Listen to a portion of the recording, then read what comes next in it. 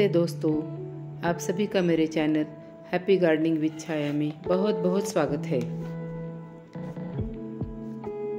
मैं 10-15 साल से अपने टेरेस पे सब्ज़ियाँ लगाती हूँ। अभी भी मैंने कुछ बैंगन, टमाटर, मिर्ची पत्ता गोभी ऐसी सब्ज़ियाँ लगाई है। उन्हें लगाने के लिए मैं ऐसे कंटेनर यूज़ करती हूँ। फलों के पुराने कंटेनर है। कंटेनर बड़ा होने से क्या होता है? हमारे पौधों को फैल, उसकी जड़ों को फैलने के लिए जगह मिलती है तो ग्रोथ बड़ी अच्छी होती है। ये बैंगन के पेड़ है, पौधे। बहुत अच्छी ग्रोथ हुई है इनकी। पत्ते भी देखो कितने बड़े बड़े हो गए ऐसे हाथ से भी बड़े बड़े पत्ते हो गए। हैं अगर गमला छोटा होता है तो इतनी अच्छी ग्रोथ नहीं होती। इसमें फूल भी बहुत आ रहे हैं फल भी और मेरे कंटेनर की मिट्टी, आप देख सकते हैं कितनी भुरभुरी है। इसमें मैं बहुत ज़्यादा कंपोस्ट डालती हूँ, मिट्टी का कम यूज़ करती हूँ। उससे गमले भी हल्के होते हैं। अपने टेरेस पे ज़्यादा वेट भी नहीं आता। दोस्तों, अगर अभी तक आपने मेरा चैनल सब्सक्राइब नहीं किया है तो प्लीज़ सब्सक्राइब कर दीजिए और बेल आइकन भी दबा दीजिए। आज एक कंटेनर में कैसे भरती हूँ, इसके बारे में आज हम बात करेंगे। ये मेरे पुराने गमलों की मिट्टी है। तीन चार दिन मैंने इसे सुखाने के लिए इसे खुली रखी थी धूप में, ताकि इसमें अगर कोई फंगस है, कीट है तो वो धूप से मर जाते हैं। अभी इस मिट्टी हम तैयार करते हैं। इसमें मैंने डाला है कोकोपीट अब हम लेंगे गोबर की खाद। गोबर की खाद में थर्टी परसेंट लेती हूँ। और हम अभी आएगा कुछ नीम खली और अगर आपके पास राख है तो राख भी मिलाएँगे। राख भी फंगीसाइड का काम करती है। मेरे पास अभी नहीं है। वो मैं उसमें बाद में भी मैं डाल सकती हूँ। मिट्टी को हम अच्छी तरह से मिला लेते हैं। कंटेनर को मैंने चारों तरफ़ से और नीचे से भी प्लास्टिक शीट से कवर किया है मैंने। और नीचे की शीट पे मैंने छेद भी किए हैं, ताकि पानी नीचे से बह जाए ज़्यादा का। इसके ऊपर मैंने थोड़े से ईट के टुकड़े रखे प्लास्टिक जगह पर रखने के लिए और इसके ऊपर डालते हैं नारियल के छिलके।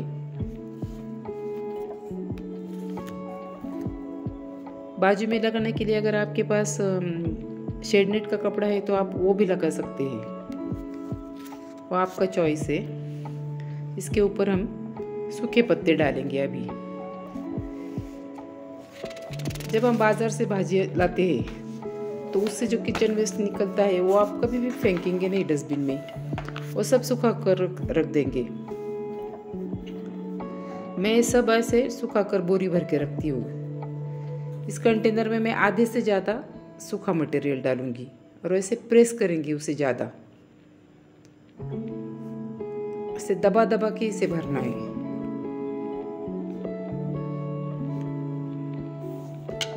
अब इस पे ऊपर मिट्टी डालेंगे।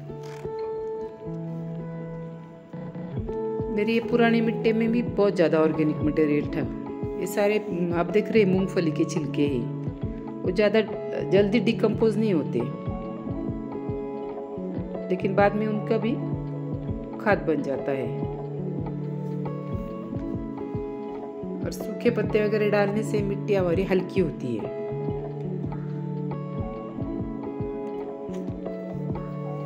से एक ग्रो बैग भी हम इसी तरह से भरेंगे। कुछ दिनों में नीचे का मटेरियल डिकम्पोज होके उसका भी खाद बन जाता है। तो हमारे पौधों के लिए वो फ़ायदेमंद रहता है।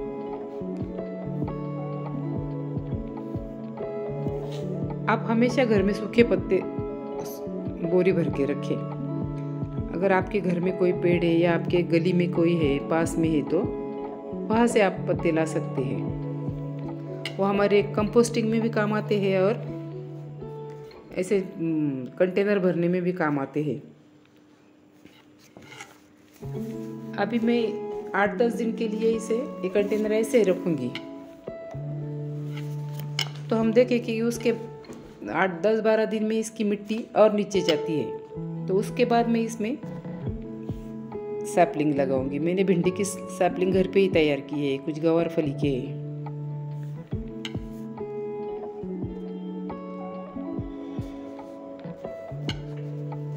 तब लगाने, लगाते समय में इसमें और मिट्टी ऐड करूँगी।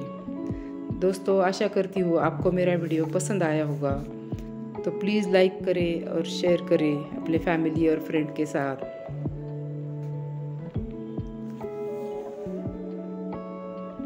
देखो, कितना वेट कम हो गया है इसका। हो, है। तो हम इजीली हम इसे उठा सकते हैं, एक जगह से दूसरी जगह पे ले जा सकते हैं। और इसमें हमारे टेरेस पे वज़न ज़्यादा नहीं आता, ये मेन है। तो आप भी अगर सब्ज़ियाँ लगाना चाहते हैं तो इसी तरह से कंटेनर भरते हैं तो आपको इसका बहुत अच्छा रिज़ल्ट मिलेगा। Thanks for watching happy gardening